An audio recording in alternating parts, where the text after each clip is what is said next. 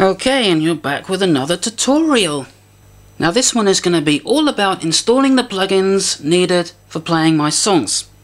So, let's say you've downloaded some of my music and you want to hear it in your Modplug tracker. So, you load up your Modplug tracker, then go to load one of the songs I made, only to be greeted with a whole bunch of errors. As you can see, it says it cannot find the plugins. Well, we're going to fix all that. Now, it will play, but it won't sound quite right.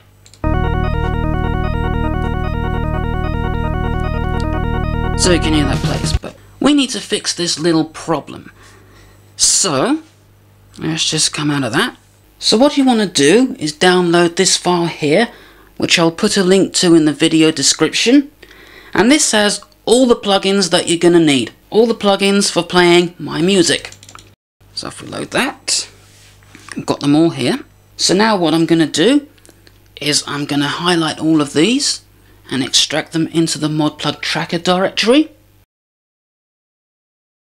And we don't need this one here, so I'll just skip that. Okay, but we're not done just yet.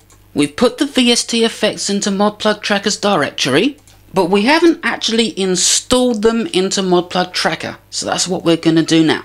So what we need to do now is create a new module so we can access the plugins menu.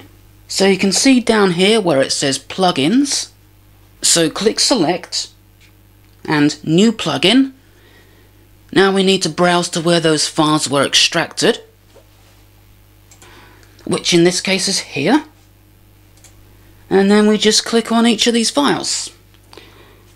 As you can see, when I do that, it adds it to the list and it's installed. It's that simple. You can only do it one at a time, but when you've done this, that should be the only time you ever have to do it. And of course, if you want to use the plugins yourself in your own songs, no problem. Okay, let's just put the last one in, which is in here. And now we're all ready to go. So now when we load up a song, no more errors, and it'll sound the way it should. It's a nice organ intro there. Spin on a bit. And there you go. Just one thing to bear in mind.